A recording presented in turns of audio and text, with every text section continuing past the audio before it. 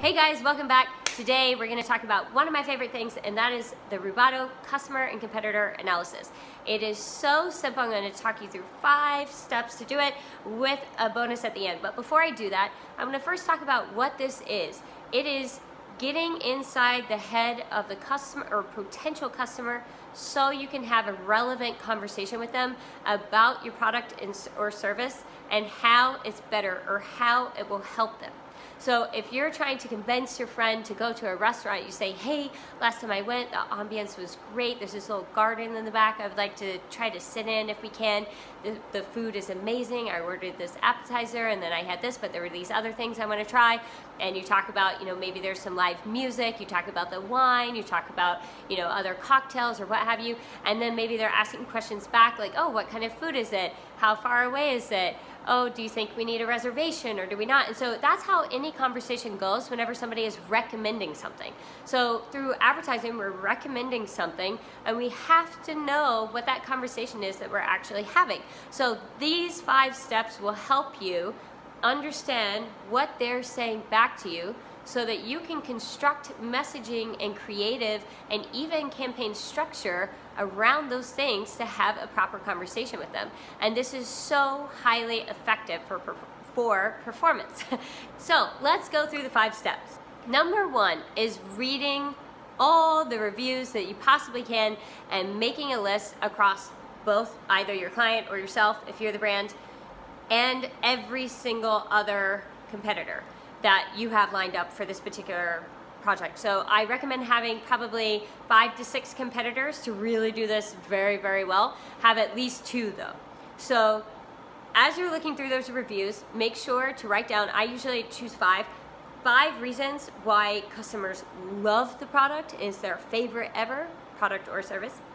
And then five reasons why they hate it, why it was a terrible experience for them, they hated it, they wish they hadn't have bought it, and then do that across every single one of the competitors. So you have your list of five and five on every single one of those. Make sure to not just look at website reviews, look at Amazon reviews, look at Google reviews. If there's Facebook reviews, look at those as well. It's also important to note with reviews that you're looking for skepticism. You're looking for objections. You're looking for what they thought before and then what their experience was. And people will really tell you this. They'll expound upon things.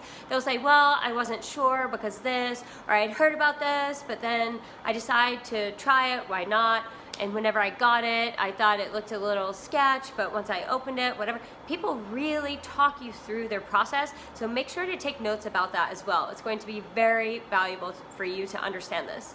Step number two is similar. It's reading through comments in both posts, organic posts, and also ads. So as the client or as, uh, if you have a client, then you probably have access to their ads, obviously, if you're running them yourself.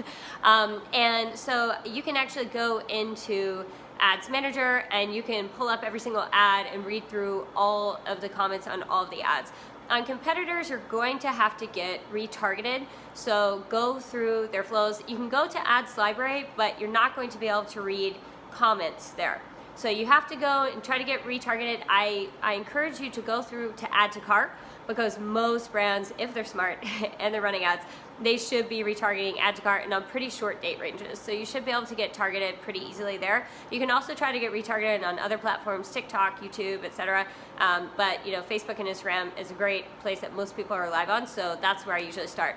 And also on the organic content side, go into their posts and start reading, and your own posts, start reading those comments. Um, if, if a brand has enough engagement, people will start talking. I, I will never forget, I was actually going through, and Bulletproof Coffee was one of my clients' competitors, and I started reading through what people were talking about, and people weren't talking about coffee or, uh, you know, coffee creamers or anything like that they were talking about how they felt taking on their day, how they felt empowered, how they felt confident. And that, I will, I will never forget that. It was one of the first ones I'd ever done. And I just thought, wow, this is what people care about. It's not about the product itself. So dig in, see what you find there.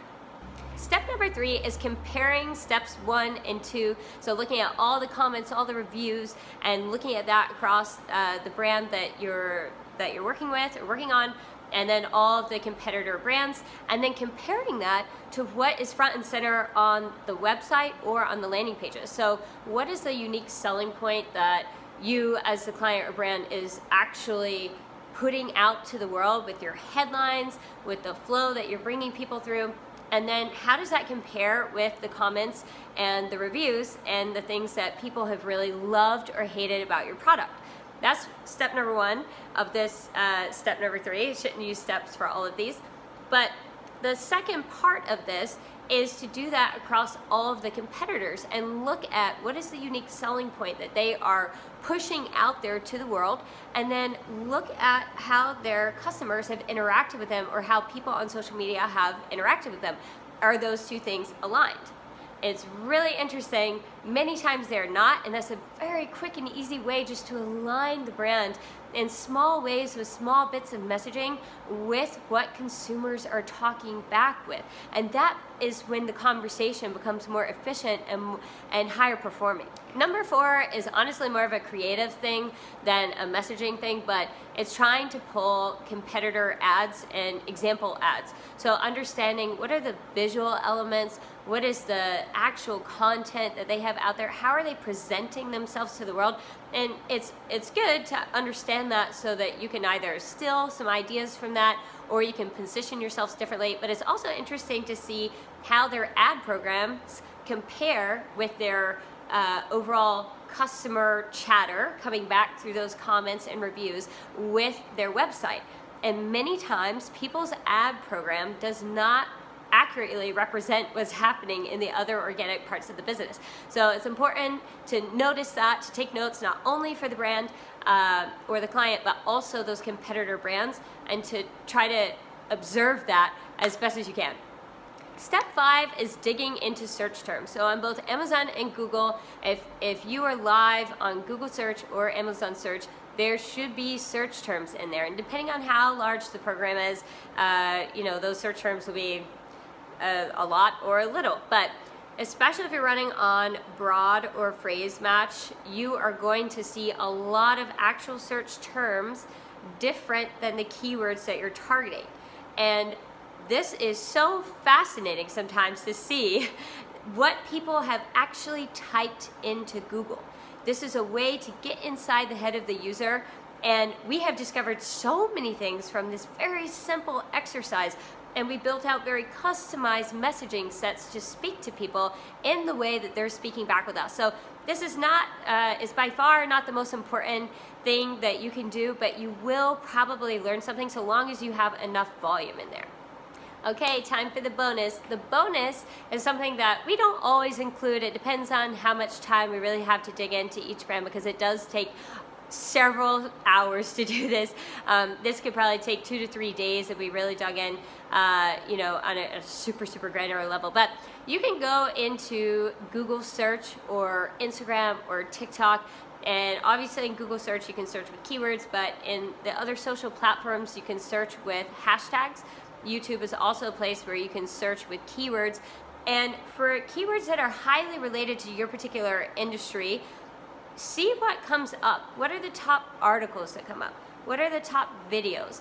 What is the content that people are engaging with the most? What are the comments and the, the feedback that people are giving? If it's a social post, what are people talking about?